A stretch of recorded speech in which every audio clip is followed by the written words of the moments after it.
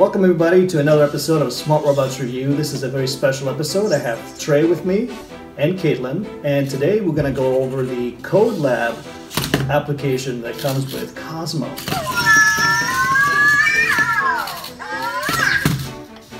Let's get started. Welcome to Smart Robots Review.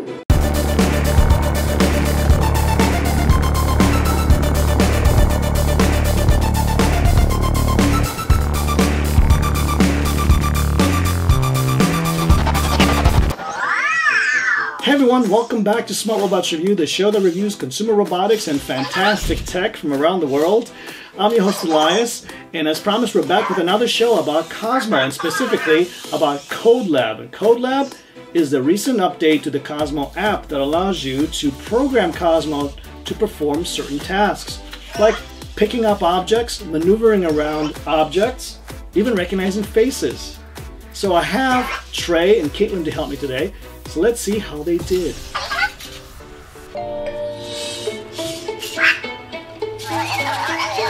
That'll wake them up. That's how I wake up Piper. Alright, so we start off with Trey and Katelyn trying to figure out how to use CodeLab for the very first time without any assistance. Wait, how do I make a new one? So slightly left, all the left says new project. Oh, I didn't even see that. There you go. Okay, so what are we gonna do? So you just connect it. Oh yeah, we did. So like, what is it called? Like Code Lab or something like that? Yeah, we did this in um, I think it was library, right? Yeah, we did like this. We did this with Minecraft. Test it out. Hold on, hold on. Stop from here. See what he does. So he has a lot of room. And if you if it's about to like go over, you can press the red button when it stops Why does he like go and then stop? Go and because stop? it's the next one. Okay, let's fast forward a little bit and see what Trey is actually looking at. These are called tiles, and each tile contains a command. Each command can be executed by Cozmo if instructed to do so. Alright. California. My name is Cozmo. Cozmo. There we go. I like that.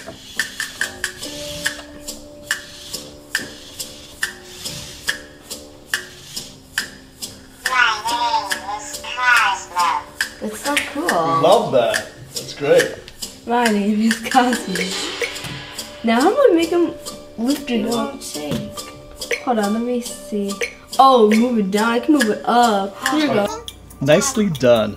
Now Trey is going to modify his program to have Cozmo find a cube and then lift it. Now drive to cube and Where's lift the cube? and lift this way. Yeah, lift up. Here, he'll, fi- he'll find it. Press the flag.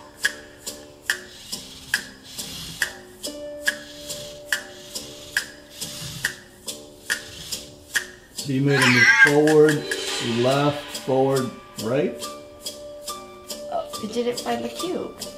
Here we go. and then he talks. He didn't find the cube. He skipped over it.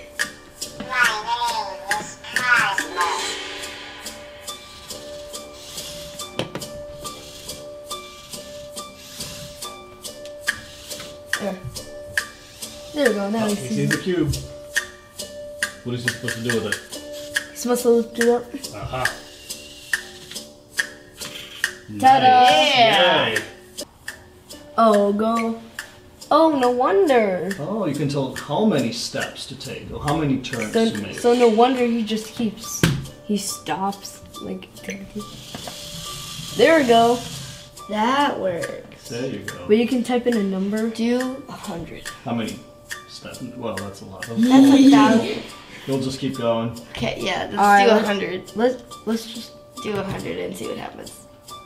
a hundred. Yeah. Oh, you can. 99. Oh well. Just not yet. Go, Cozmo, go. Probably gonna have to stop it. Press the red button. Ah, ah.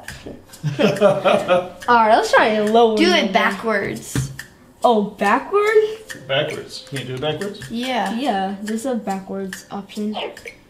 Let's try a lower number, like 50. 50, yeah. Here we go. Go, Cozmo, go!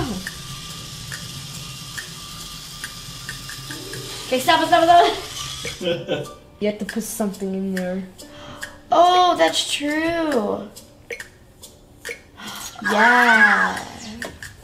That's nice. What does that do?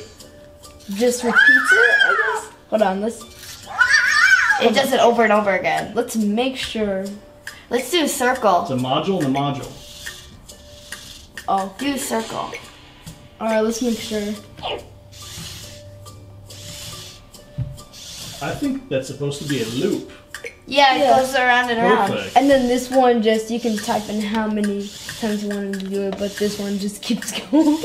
So you're stuck in the loop. Yeah. You're probably getting bored. Welcome to programming, kids. alright, so what are, what are we gonna make him do now? So you get the idea. You are building a sequence of commands for Cozmo to execute.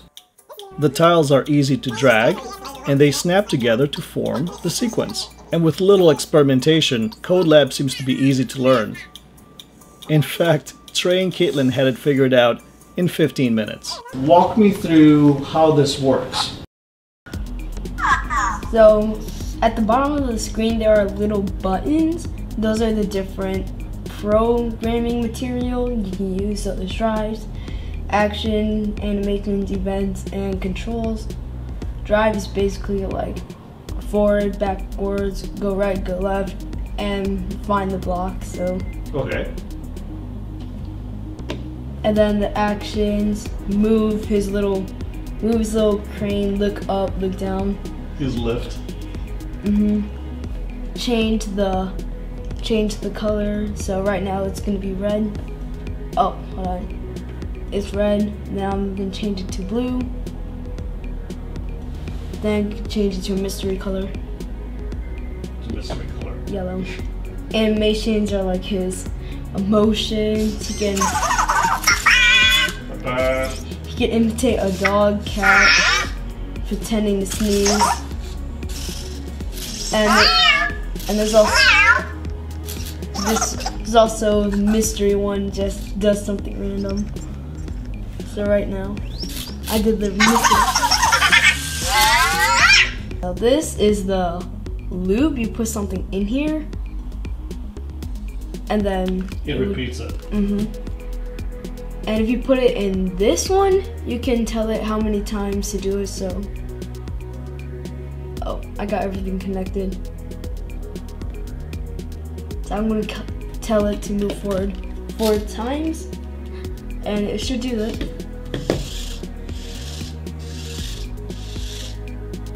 Yeah, just move forward four times. And then it should repeat it. No, because it's not this one. Yeah, it's the oh. other one. Then it will go. Then it will just keep repeating itself.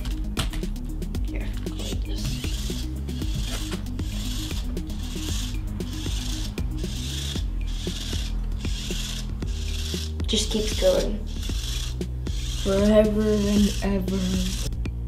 And they even gave you a sample one to like show you what it's about. If I can get it. Here.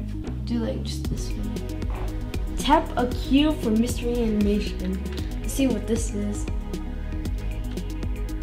Tap it.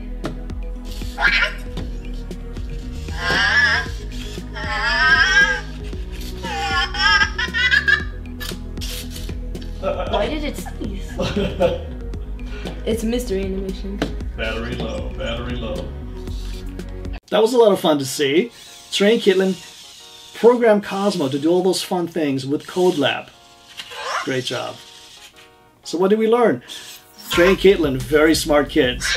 The application seems to be intuitive, easy to learn, uses those tiles and you can snap them together to create simple sequential type programming, which I think is the trend right now with other robots in the industry. They use that same technique. I think Anki can release another update for that application and make it even more interesting for the kids to use. And maybe add some more tutorials in the application. The application itself has some simple tutorials and some sample programs for kids to use to learn. But I think you can do more. So I like to see that. So what did you guys think? I'd love to hear your feedback, your opinions. Was this a helpful tutorial uh, overview of CodeLab? Let us know down below. Also, thank you, Trey and Katelyn. You guys did a great job. And until next time, thank you for watching Smart Robots Review.